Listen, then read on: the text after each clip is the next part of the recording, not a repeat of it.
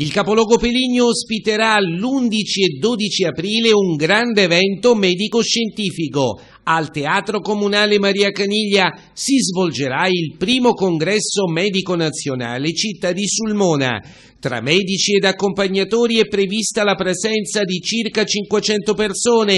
L'amministrazione comunale si è assicurata il convegno fino ai prossimi cinque anni diventerà un appuntamento fisso che garantirà una promozione per il territorio con ricadute economiche nelle giornate del congresso. Saranno presenti tutti gli ordini professionali legati al mondo della medicina.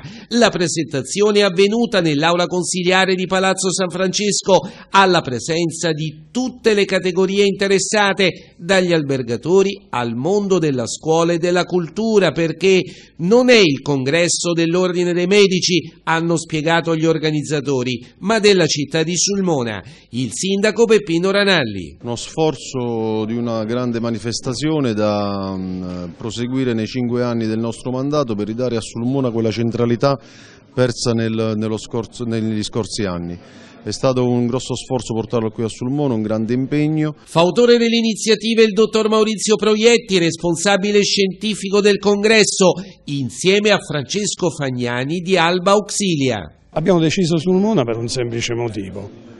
Eh, abbiamo caratterizzato l'evento perché innanzitutto l'Abruzzo la, la vediamo come regione verde d'Europa eh, la provincia dell'Aquila è la provincia verde d'Europa, Sulmona probabilmente è quella che sta, la città che sta nei parchi, in mezzo ai parchi, fare un congresso sull'inquinamento, farlo a Milano o a Roma non era il caso. Abbiamo organizzato noi dell'Aquila, ma hanno riconosciuto il merito di averlo un po' organizzato, ideato, sviluppato nella forma, del, il tipo di intervento. È chiaro che una voce in più per Sulmona ce l'avevo e quindi ho preferito portarmelo a casa, ma portarmelo a casa anche se qualcuno ha remato contro dei nostri concittadini, però stavolta forse sono stati più quelli bravi e quindi l'amministrazione veramente devo, dire che ha capito immediatamente la valenza, la portata. Gli interventi al congresso verteranno su professione, ambiente, salute e sviluppo, ma il tema principale sarà quello dell'inquinamento della catena alimentare.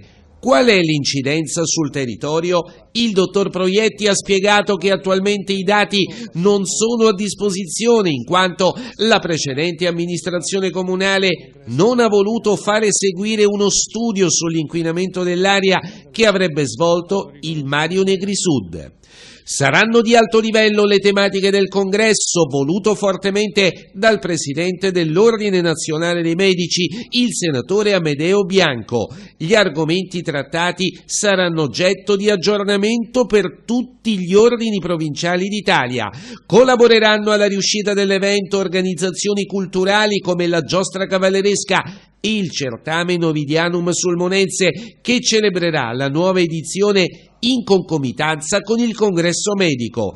Per i partecipanti saranno organizzate anche visite guidate alla città, la soddisfazione del Presidente del Consiglio Comunale Franco Casciani. È una manifestazione che si andrà a inserire nel calendario della città di Sulmona come evento stabile. Abbiamo sottoscritto un protocollo d'intesa per cinque anni, ma che è semplicemente una pietra miliare, diciamo uno start-up per poi andare a sancire questa manifestazione come manifestazione, io la definirei quasi storica della città, nel senso che dovrà prendere sempre ogni anno di più piede.